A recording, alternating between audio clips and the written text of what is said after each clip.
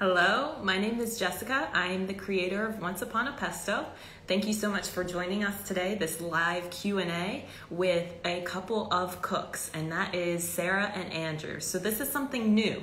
Um, today we're going to be combining culture. So what is it like when two people who are passionate about food come together and bring their cultural heritage into their cooking. So Sara is uh, her heritage is Chinese, Andrew Italian, and so today we're going to be talking about intercultural food and recipes.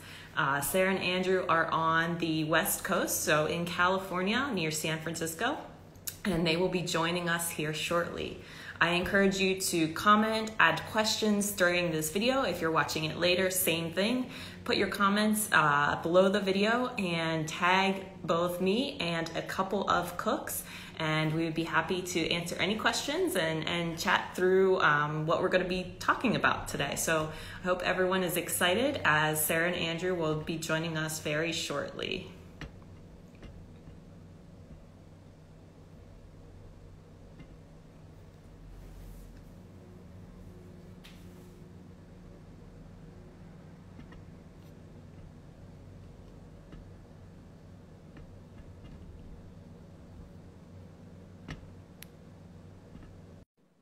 Welcome to everyone who is tuning in right now to this video.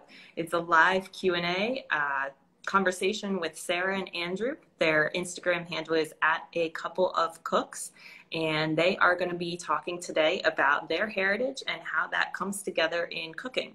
They're both very passionate about cooking, and Sara is uh, originally uh, heritage is Chinese, and Andrew Italian. And so, what do you get when those two come together in the kitchen? Uh, Sara, you know, she brings expertise in making sushi.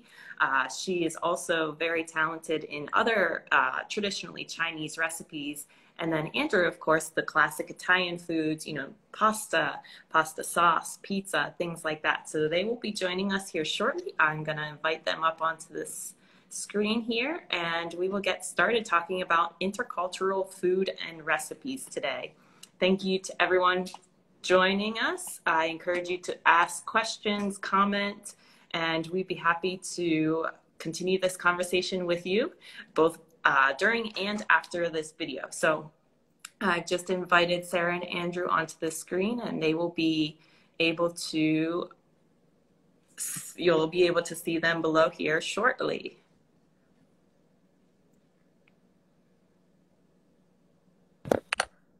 Hello, how are you today? Good morning.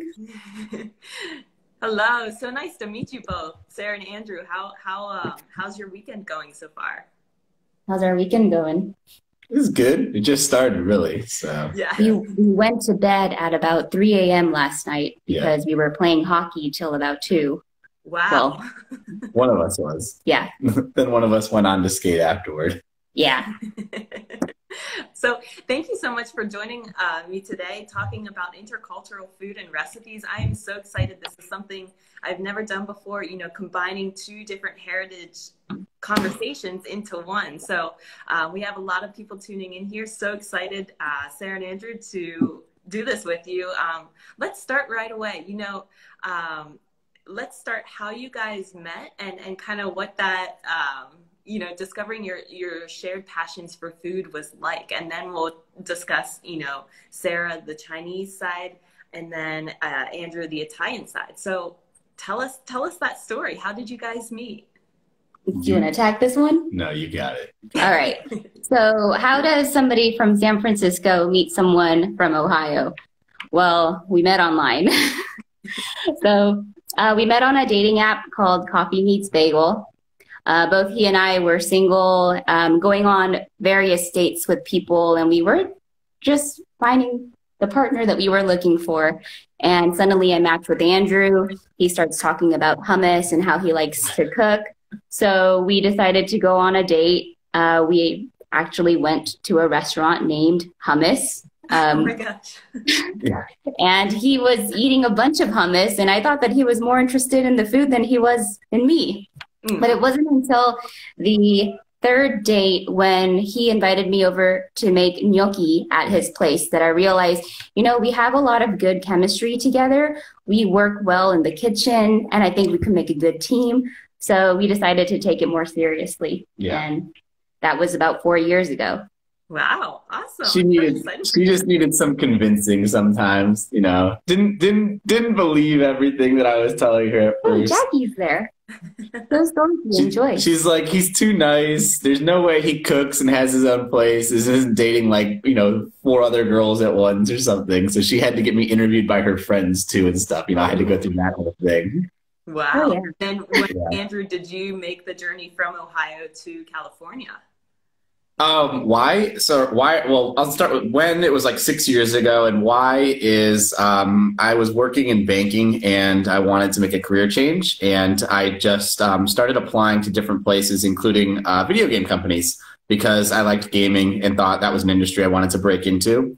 So um, I got a call from EA just like randomly, and the process went really fast, and uh, got the job, and basically in two weeks had had to quit my banking job and. Uh, told my friends, "Hey, I'm moving across the country and family," and we I literally packed all my stuff in a U-Haul, put my car in a trailer behind it, and drove across the country, and then started work two days later. So yeah, Wow. And and Sara, you know, how was that? Um, you are from San Francisco, so Yeah.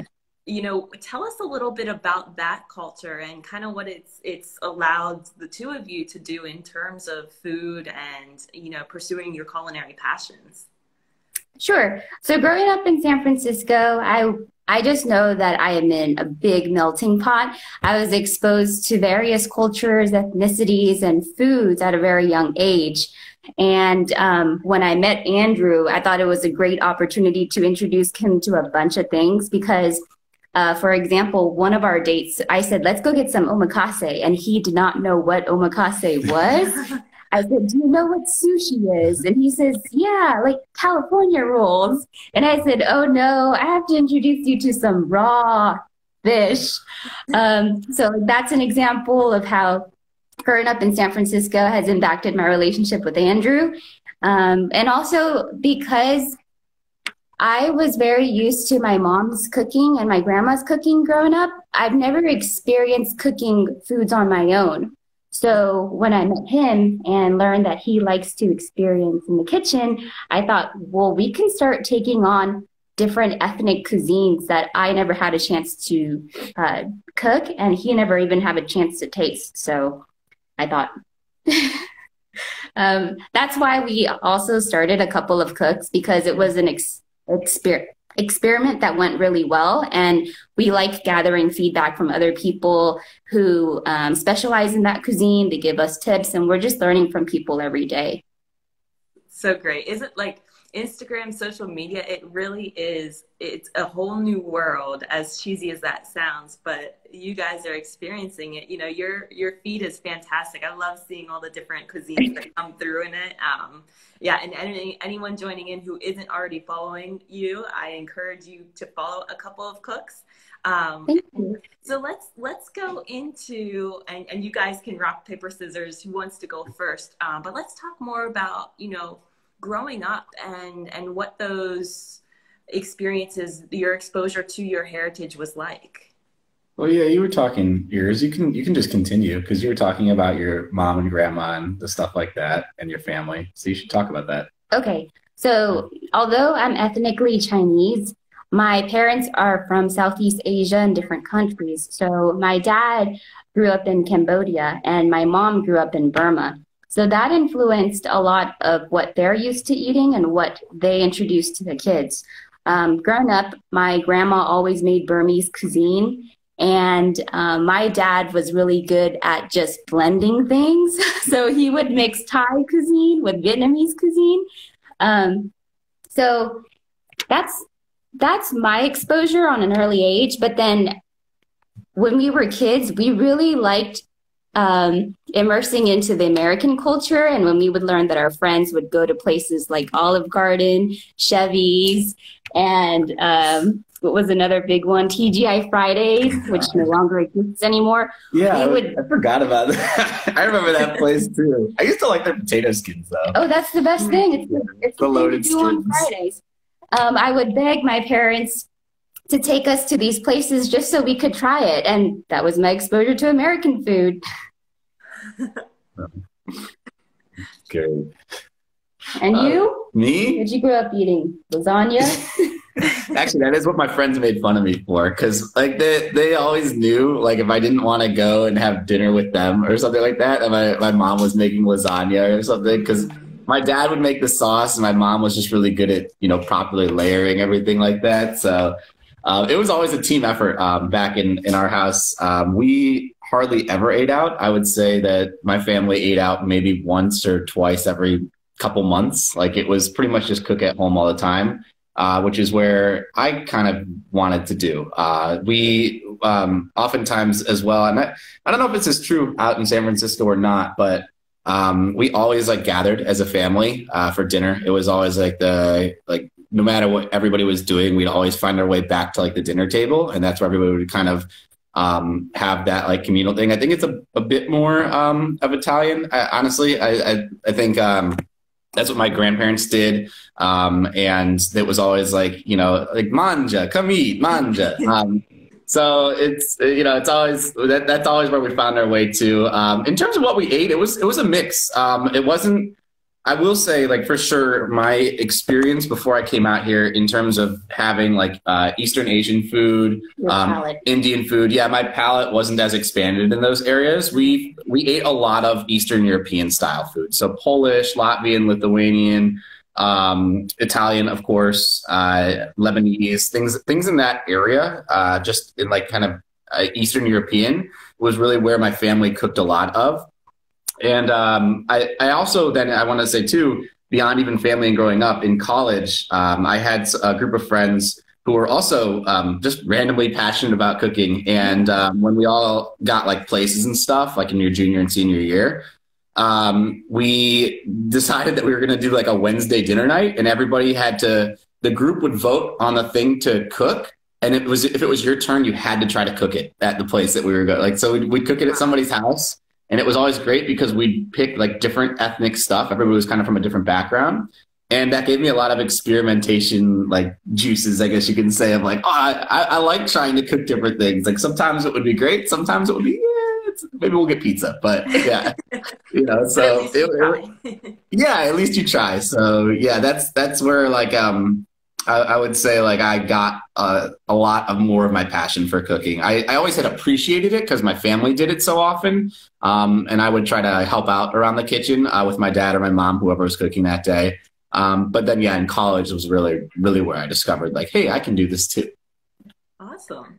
And um, so then when you guys met and this this experimentation, like you were saying, Andrew, continued, um, do you remember the first, you know, dish that that was brand new to you, what it was um, for each of you, and and how you decided to make that dish?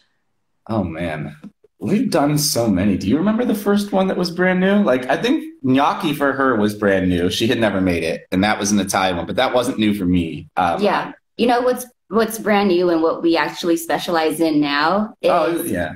um, when he went home t- for Christmas and told his family, "Hey, I'm dating someone in San Francisco. She's Chinese." They all of a sudden just um, said, "Chinese? Okay, that means Asian. We're gonna have to get you a wok. We're Yeah. gonna have to get you a sushi kit. We're gonna have to get you a rice cooker." So he came home with all these Asian appliances, and he's like, "Sara, let's get to work." Um, so in 2018 was when we started making sushi together. And I'll tell you at the beginning, we didn't know what we were doing and we wasted a lot of ingredients. But um, with time and with practice and with connecting with people who would give us tips on, like, no, you should be rolling it like this, you should put less meat. Uh, we actually, I think, I don't know, would it be too much to say that we're really good at it? We're professional. You are. She's better than me. It looks great. I mean, it's a, some like it's like a panda bear shape. It's it's, Oh, yeah, it's all it, like pretty much all her. I, I do like I could do the rice. I can do like you know some of the behind the scenes stuff. I'm okay at rolling. I I I special. I like to say I specialize in other things. Most of the feed, like you'll find me cooking something, but sushi is like pretty much seventy five percent her. She somehow just has like the patience and the eye for it, and I, I maybe I'm a little too like. I just kind of just go, you know what I mean? When I'm in the kitchen, I just kind of like just do. Whereas like sushi, kind of like she's like, you need a certain amount of rice and it's spread like just so, and you need a certain amount of meat inside, or else it's going to be too big. And me, when I'm cooking, I'm just like, yeah, I'll do this and this. Oh, it doesn't taste good. All right, I'll add a little bit of this. Like it's like, You know what the difference is, Jessica? I noticed that between Andrew and me, he's really good at cooking, like on the stove, and I'm really good at assembling when it comes to salad. Uh, Yeah. You know, wrapping a burrito, toss, you know, tossing something together. Any- things on plates. yeah, anything that's away from the heat probably is my specialty, and anything that requires heat, making sure it's cooked, uh, making sure there's enough flavor and Yeah, spices and seasoning. seasoning. Yeah. That's Andrew. Yeah. That's this is so neat the chemistry there. You know, we talked about that very early on. Um, but so so sushi to me is fascinating. And Sara, with with your practice and Andrew, you're kind of like admiring all of this coming together. It's an artwork. And Yeah. how how do you go about, you know, these ingredients into that finished beautiful plate? You know, kind of take us through real quickly what what sushi is all about. Um, I've never made it myself, but you have kind of sparked that interest in me. You know, something interesting we learned is that sushi chefs, when they decide to take on the journey to become a chef, they spend almost five years just learning how to make rice. Wow. And um, that, that to us is the hardest part too. And I think sushi is all about the rice because not only do you have to have a quality fish, but if your rice is too sour or too sweet or too soft, even the texture, um, it just will change your entire meal. And that's why even to this, on the, the roll. too. yeah, yeah, and I think even to this day, we don't feel very comfortable cooking the sushi rice yet. We just buy it from a grocery market that we trust. Yeah. I Uh, practice sometimes, but yeah, to her point, like I'll get it a couple times and then one time I won't get it quite right. And then, like she said, it just doesn't, the roll just won't be there no matter what you do to it. And you can't, like I, like I always say, like I, I, I can usually fix something in the kitchen. It doesn't taste, she'll say this doesn't taste good or something like that. Like if we got something from a restaurant even, and I'll be like, don't worry, we'll fix it at home. And the, and I can go and like fix it and kind of put some different sauces and spices in it and it'd be fine.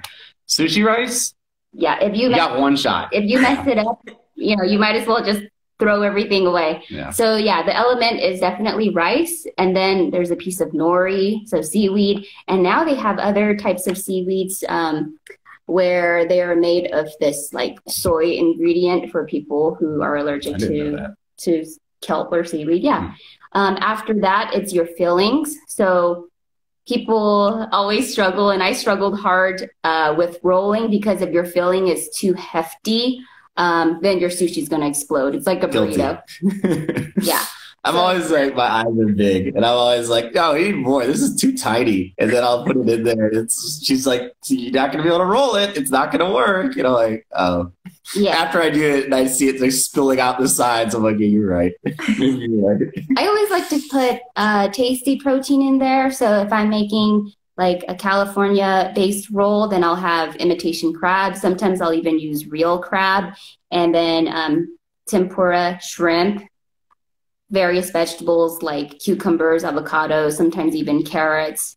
Um, and then the top is what I love to play with the most. So you can top it off with avocado slices, different colored sushi, fish like hamachi, which is yellowtail, salmon, which is an orange color, and then red tuna. So when you have all those three colors blending together with the avocado, it just creates this rainbow. And that's one of the rolls I like to make the most, the rainbow roll.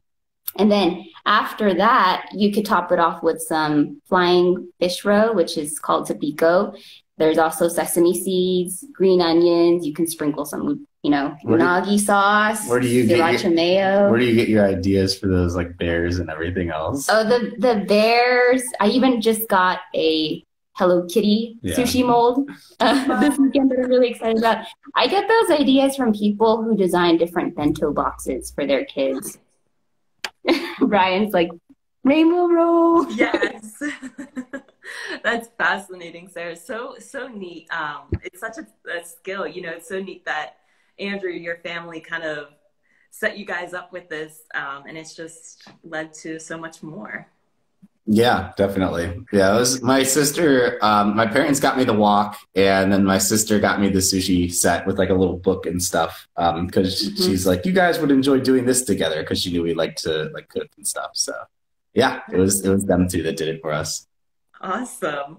And um, would you say lasagna is lasagna versus gnocchi? What you mentioned both of these as the Lasagna. Italian um, No. dishes. My my my lasagna is pretty killer. Uh, I usually will make, um, and that's like that's not to brag, but like I, I'll do like um, a homemade sauce. I usually will cook the sauce for at least like five to eight hours. I'll start it early in the morning, um, like a ragu, uh, and I'll mix in there some like different meats uh, to give it some flavor. Slow cook the meat first. Start adding in the sauce, um, season it up, kind of let it keep keep simmering, and then add in some more things throughout the day. Um, and then by the time it's ready, uh, I won't use any like, you know, those people use like these, oh, they're ready to bake noodles and all this rest of the stuff. Like, no, I, I got to do the whole process of like making sure everything's, you know, floured properly, boil the water, cook it so they're nice and slick and smooth. Um, I make sure everything's tucked down on the sides. You got all the layers proper. Um, I use the ricotta cheese and I mix it um, together with a, a few different things as well to add some extra flavor in there. Um, so yeah, th- it's definitely like lasagna and her family. I don't like, we, I made it for Thanksgiving one year because they asked for it again. Like they tried it once and they, I'm like, I, I can make like turkey or something like that. Like, would they want that? She's like, no, my family wants you to make lasagna. Oh, Yeah. yeah. I was like, all right, well then it must be pretty good if that's what they're requesting on like a holiday. It's very good. Yeah. Definitely, yeah. Yeah. So that, that's probably my like Italian dish specialty. Okay. And Or just that that sauce that he makes, that Yeah, bolognese she likes sauce. the sauce. Um, yeah. I like just using that for pasta later on if there's leftover. It's because he takes almost eight hours Yeah. I started to pretty cook early. it. Yeah. Yeah, and because I know that he put so much time into it, I know it's good stuff. Yeah. So what is it like then? Um, you, you mentioned San Francisco as this melting pot, you know, to get these ingredients, the, the quality that you're looking for, the variety, um, what is that experience like, you know, shopping in San Francisco that, you know, is unique to the area? I think it's very easy to find ingredients because we have the general stores like Safeway, Costco, Whole Foods, but then we also have the specialty international grocery stores like Draeger's, um, like the place where I get my sushi ingredients. There's a ton of Asian markets like 99 Ranch, H Mart, Cook J Supermarket, Nijiya. Yeah. Um, because we have so much um, I, I I guess like what would you say in in in various pockets of the Bay Area. So like if whether you lived in the San Francisco area or across the Bay Bridge to what we call the East Bay, um, South Bay, which is where San Jose is, or even to the coast side where Pacifica is, and there's like a ton of clam chowder and fish over there. Um, you'll always be able to find the ingredients or be able to drive about 30 minutes out and be able to find it. So everything is within distance of where you live just because the Bay Area is so vast. Um, there's tons of people here driving up the markets. Um, and yeah, so Yeah, I mean, and then there's of course like you have, um, you know, weather when the weather's nicer and stuff, and it's in season, you'll have the farmers markets and everything. like that. She really likes those. Um, and we even have like uh, in Redwood City where we're near, um, they do uh, well. They used to like with COVID, things are a little different, you know, obviously. So, but they used to do these um, events where they had like like remember the salsa festival the one time, yeah. and like Oh, wow. they used to be like just different things, and like we'd go and grab stuff from those. We oftentimes the, the events that we go to together are like food related events. To, to be honest, that's like usually where we connect. Um, like right, like Foodie Land is one. That's all pre-cooked stuff, like the food, the food trucks. But like I'm just giving examples of things like that's pretty much what we do. So like you're saying, like finding the ingredients. uh, that's no problem. It's mostly just finding like the inspiration to try new things um, is what we end up doing more of nowadays, and that's where even her Instagram feed has evolved into a little bit of us even eating out and trying new places too, just to get an inspiration. Because oftentimes when we go out, we'll look at the menu or we'll get something, we'll be like, well, we could replicate this at home, and then we go and try it, um, try to do that. So. Uh, that's where, because you know, when you've been dating and cooking for you know several years, you want to keep the what it keep it fresh, right? Keep your menu fresh because uh-huh. otherwise, like we have a few staples that we eat pretty consistently. Yeah. But like we try to not like we we keep like even she started keeping like a diary of what we eat in a month just to like be like we shouldn't repeat things all the time she doesn't like just like we don't like repeating vacation destinations that's like her yeah. big thing she's like i don't want to keep repeating the same foods all the time whereas for me like low key, I always sneak pasta in every week, every every single week. There's always yeah. pasta, but I like what he mentioned about um, these food fairs because um, back to the question that you were asking.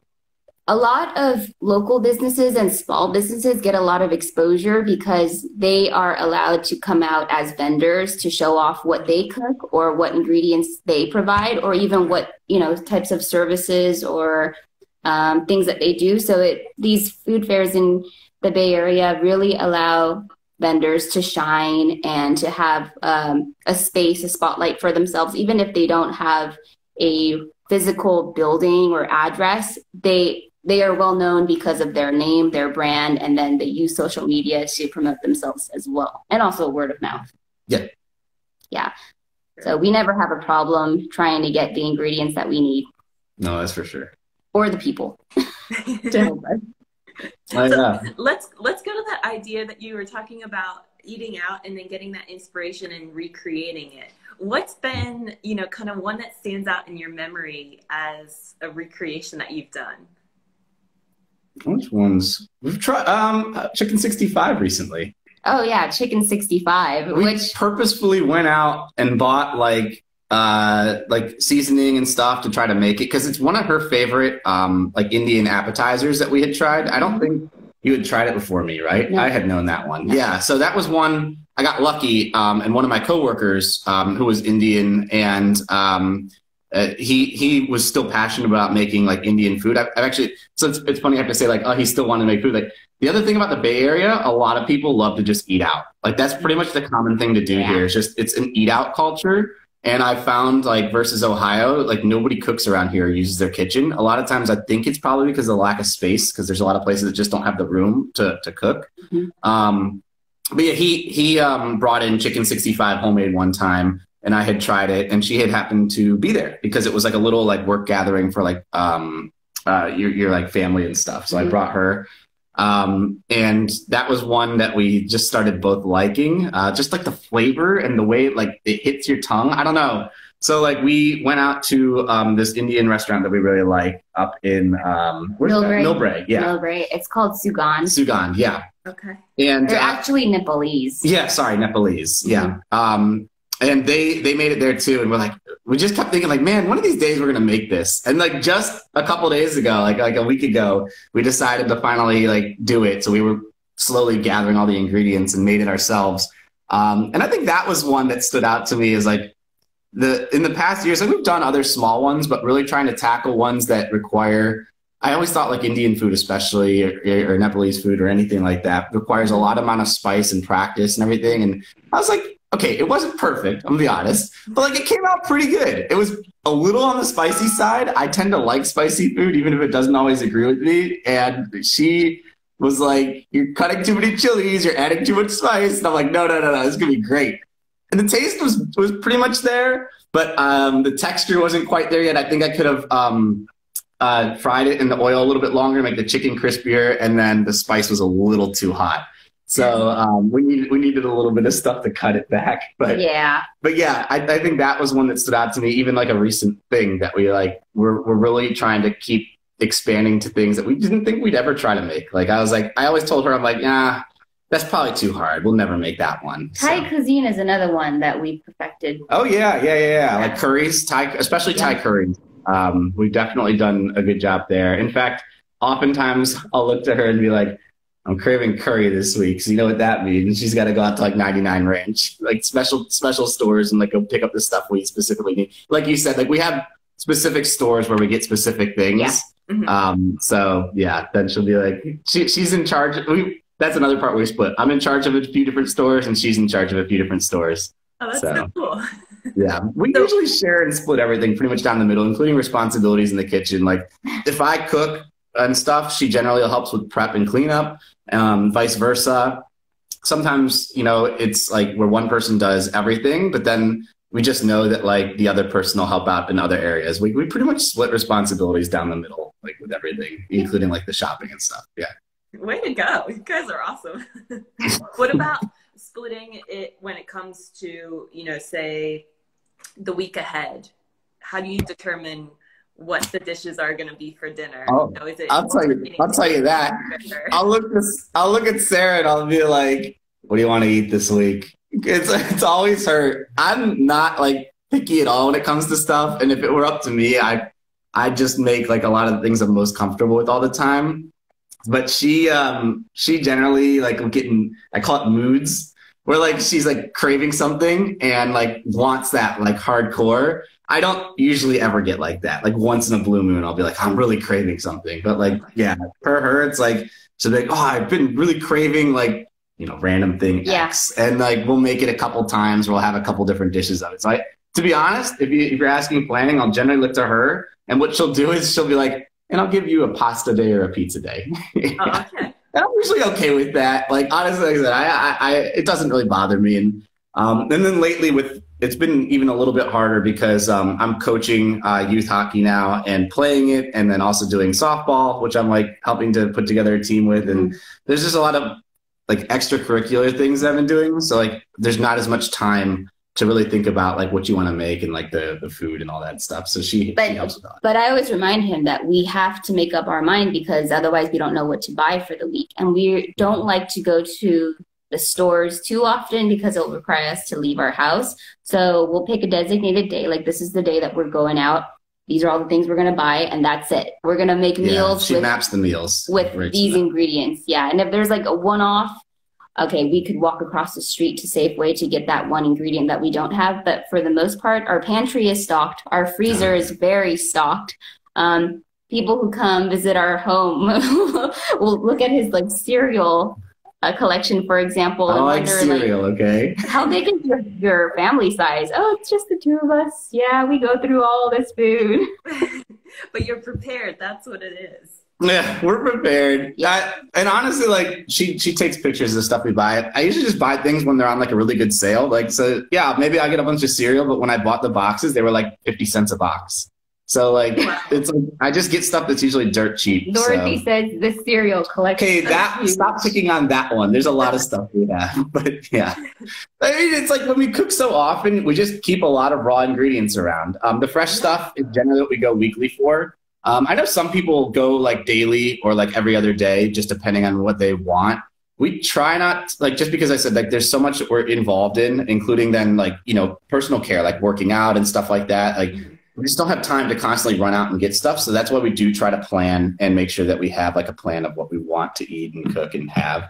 Um, and like she said, so on, on the rare occasion, we'll run back out. But yeah, we try we try to keep everything in line. We're, we're decent planners, I would say. Decent. Yeah. Yeah. It's mostly just the perishables and produce that we have to go out and replenish, but everything else we we pretty much have. Yeah. I think that it's so fascinating the this idea that you plan out and then if you're featuring, you know, diving into different cuisines, it's it's like something it's like eating out, right? You can look forward Yes. to the uniqueness of that day. Exactly. You know, like night's the pizza night or tomorrow's gonna be curry. It's that's so cool. Yeah, actually, and that's that is the great way to look at it. It's so true because like that, and that's why like I never understood always the, the the culture of like eating out. Like I said, when I started the combo, I was like, we when I was when I was back home, we ate out like maybe once, twice, and then when I was after college, when I had my own place, literally never ate out. I always just cooked for myself. Um, like super rare blue moonish, like w- would I go eat out because I just preferred, like you said, I have so many choices that I can do myself, and I know how I cook it and the taste that I want and the ingredients I use and like how healthy it is for you and stuff like that. I just I don't know. I feel like when you go places, it's just a lot of oils and butters. It tends to be, especially like, unless you, it, it's just I don't know. Unless you like get certain things, it's just a lot of the way that it is. So I, I Well, find it to be very heavy and salty a lot tasty. of times. They have to have their customers come back, so they're definitely going to put a lot of taste in it, and they know their customers don't see what they're doing in the kitchen. But yeah, we we'll get stuff like we got fast food just yesterday even, and like I'll I make we got a fried chicken at a fried chicken place just because we were short on time, and um I I make it myself a lot of times, and she just was eating it, and she's like, it's too salty. Like she's getting even she's getting used to it now, where it's like it's just you just can taste things, especially when you eat out. Like it's just the salt level and a lot of things is super high. So yeah, Yeah. Yeah. heavy hands. My last question. Now, this Hmm. give give it some thought. So we've talked about you know finding new ideas, the inspiration when you're eating out, recreating. Um, sometimes you look at things that oh no, that's too hard. What is the one dish that you have yet to make? You know, from a, a, a specific culture that you think will be next on the list. That you're you're kind of questioning the difficulty, but you're Hmm. feeling ready to try it.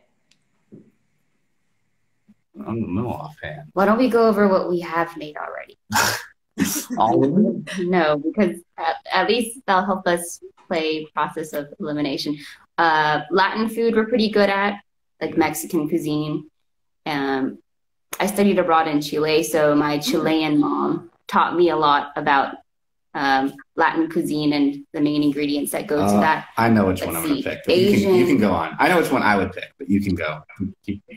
Um, Italian. I don't You want me know. all right. So the ones that I've always been, and this has been true for a long time for me, that I'm always afraid of messing up. That I used to, I used to kind of make it before I met her. So I'm not gonna, I'm gonna count it, but not count it at the same time. Like that's kind of cheating, but like I never made it good, and so I've kind of refused to make it since then. Um, and I'm afraid to try it, even though when we go out to places and they have it, she she knows what I would get. Um, it's a it's Cajun Creole cooking, so it's either a gumbo or a shrimp etouffee and she's it's one of the things where I told her like, oh, I'd love to try cooking that with you when like we were first started dating, like something complex. And then I kind of like, I think I just mentioned it as like an impressed point, but like I in my head, I'm like, yeah, we ain't making that. Like it's like it's I've made it before, and it was one of the things I was challenged to make in college. Um, it was one of the ones where I was like the night, and that that's what they wanted. And I just can't get whatever the seasoning, the length of cooking, or just the the texture even of the shrimp and the seafood in it. Like um, I just can't get that one quite right. And then to the extension of that is like a cioppino. Um, I'm afraid to to do something like that, like a, another one where it's like a, lo- a long term type cooking with a lot of different things in there that require very specific times to cook. Um, those two, like Cajun Creole, um, like gumbos and stuff like that, or like they said, the shrimp etouffee and the cioppino. And I know the one that we would say together that we've wanted to do though, that you said that you we want to do a paella. Oh yeah. Ooh, Paella. Yeah. But but Jess, I'm curious to know, do you know what a cioppino is? I don't know.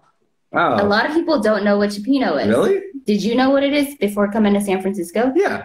Okay, because um, I learned that it's a San Francisco thing. So in San Francisco, there's a famous spot called the Fisherman's Wharf, and a long time ago, there were a bunch a bunch of fishermen who um, would spend their day fishing, and sometimes when they didn't catch the type of fish they wanted, or they didn't have uh, they, they didn't catch enough fish, they would just walk around to other fishermen, and people would just dump things into their pot. Oh, I got mussels today. I got clams today. Oh, I got crab. And then um, I guess crabs. the people who originally created Cioppino, they decided, well, now that I have all this fish and shellfish, um, let's make it into a stew. And they added tomato sauce and tomato paste. And that's how Cioppino came about. And that's why I was curious to know if you knew what it was, because most people who have not visited We- San Francisco or are not from here may not know. we had it up in, dish. in Cleveland by Lake Erie. Oh. um, and they had stuff there. So I don't know. We had it at like Italian restaurants. Oh, I yeah, it, it rings a bell in terms. I think it's it's never that name on the menu, but it might be something like a seafood stew or a fisherman stew or something like that. Yeah, like a fisherman's stew. Exactly. Yeah. Yeah. But yeah, those are the those are the ones. I know you asked for one, but those are probably like the three different ones. Um, we're getting into the ones now where, like I said, the, the ones that take more complexity in terms of the the things that go in, getting them each done properly, getting your base done right, which is like just like the rice for sushi. You have to have the base right, or everything else fails too. Um, and that's like I said, because of the length of cooking and the amount of time and the amount of things you have to put in when.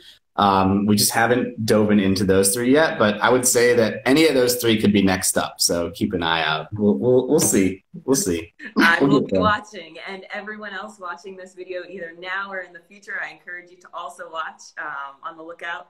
So that leads me, Sara and Andrew, this conversation has been absolutely wonderful. Um, it's so fun talking to the both of you. Wish we were closer geographically. Um, would love to see the the cereal collection in the kitchen and everything else. but tell us, you know, um, as a reminder, where can we find what you do and follow along with all your delicious recipes and, and content? Sure. Right now, we are only on Instagram. That's our only platform. So it's at a couple of cooks. Um, I don't know. Should we expand to YouTube? if you ever want to do the video editing for it.